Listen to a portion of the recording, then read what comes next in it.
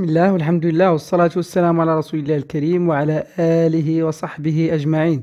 مرحبا بكم أعزائي التلاميذ والتلميذات في مقطع آخر من سلسلة فروض مادة علوم الحياة والأرض لمستوى أولى بكالوريا علوم تجريبية خيار فرنسية أو مسلك دولي اليوم إن شاء الله بحول الله عندنا التمرين الأول من هذه السلسلة اللي هو اللي مازال ما خدمناش خدمنا تقريبا معظم هاد التمارين إلا ما نقول أغلبهم.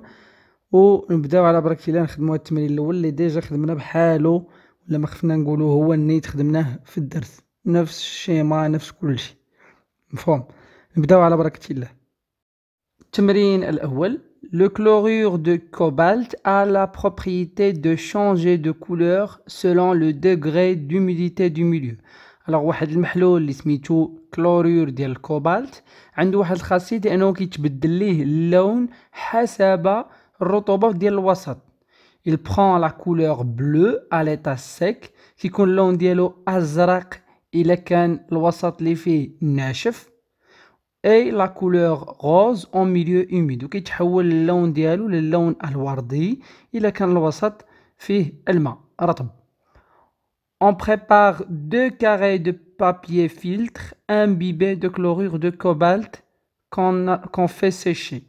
Alors حضرنا جوج ديال المربعات ديال الورق اللي درنا فيهم ال chlorure de cobalt ونشفناهم نشفناهم اذا اللون ديالهم غيكون ازرق on applique sur chacune des deux faces d'une feuille de laurier un carré de papier filtre préparé كل ورقة ولا كل عفوا كل ورقة من هذوك اللي صوبنا دوك الورقات اللي اللون ديالهم أزرق اللي عندنا في الصورة.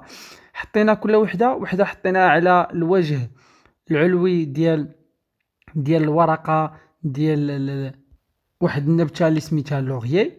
حطينا ورقة زرقاء على الوجه العلوي ديالها وورقة آه، زرقاء على الوجه السفلي. ورقة زرقاء كتعني أنه الوسط ناشف مفهوم؟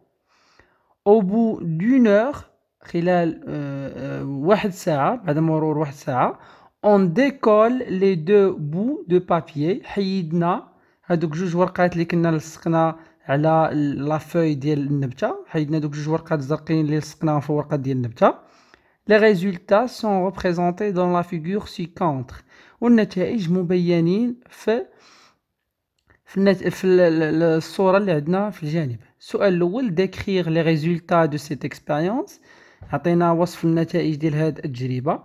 السؤال الثاني comment explique-t-on l'apparition des taches roses كيفاش نقدروا نفسروا الظهور ديال هادوك البقع اللي اللون ديالها وردي؟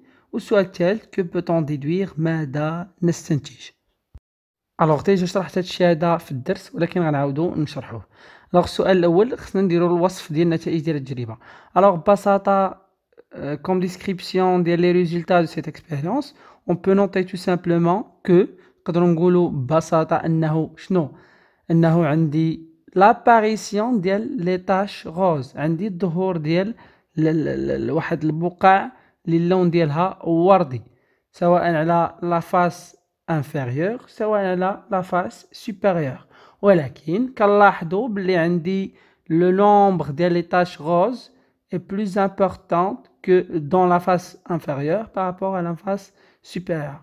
عندي واحد البقع اللي اللون ديالها وردي. في la face inférieure اللي هي في الوجه في الورقة اللي حطيناها في الوجه السفلي ديال النبتة ديال الورقة ديال النبتة. لاحظنا بلي البقع راهم عندي كتار. بينما في الجهة السفلى ولا في الوجه العلوي عفوا في la face supérieure عندي فقط ستة ديال البقع. اذا عندي بقع قليلة. مفهوم. هذا غير ك description ما جبت شي حاجة من راسي غير قلنا لهم قلنا لهم أودي راه بعد النهاية ديال التجربة فاش حيدنا هذوك جوج ورقات زرقين اللي لصقناهم في البديه لاحظنا بلي عندي واحد البقع اللي اللون ديالها وردي. لاحظنا موجودة بكثرة في الوجه في الورقة اللي حطيناها على الوجه السفلي اللي حطيناها على la face inférieure بينما الورقة اللي حطيناها على الوجه العلوي راه لاحظنا بلي فيها واحد العدد ديال البقع ولكن بقع قليل مقارنة مع البقع اللي متواجدين في الورقة اللي حطيناها على الوجه السفلي. بالنسبة للسؤال الثاني comment explique-t-on l'apparition des taches roses كيفاش نقدروا نفسروا هاد الظهور ديال هاد البقع اللي اللون ديالها وردي على هذوك الأوراق اللي كانوا في الأول هما أصلا زرقين؟ وعلاش آه، ظهروا لنا هذوك البقع اللي اللون ديالها rose؟ alors الجواب كاين في المعطيات alors في البداية قالوا لنا استعملنا هذاك المحلول اللي اللون ديالو آه، كيكون زرق normalement فاش كيكون الوسط عندي ناشف. ولكن قالوا لنا il change de couleur كيتغير ليه اللون ديالو.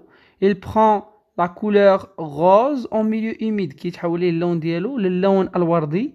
فاش كيكون الوسط رطب اذا هذوك البقع اللي اللون ديالها وردي ظهرت لي بطبيعة الحال نتيجه ماذا؟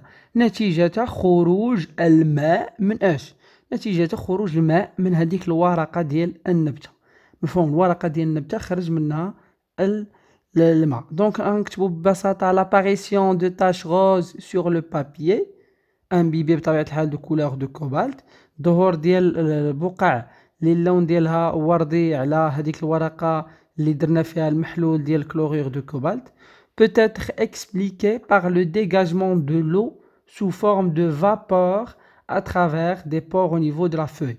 خروج الماء هذا نقدروا نفسروا الظهور ديال هذوك النقط اللي اللون ديالها وردي.